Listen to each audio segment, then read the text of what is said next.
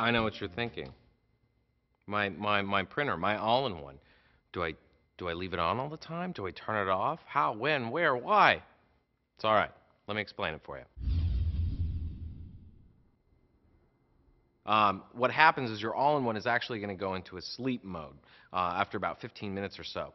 That way, it's consuming very little power, and if you're waiting for a fax to come in, uh, it's still going to be able to hear that signal. If you're not going to be expecting a fax or, or printing or anything for like uh, over a day or so, you can go ahead and turn the printer off. The thing to remember about this is that you don't want to just simply unplug the machine or turn it off at the power strip.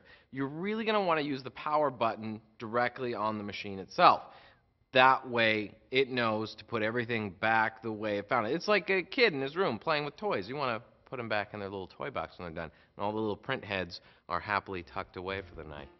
So, as long as you remember those couple little pointers, well, really can't go wrong. Epson. Exceed your vision.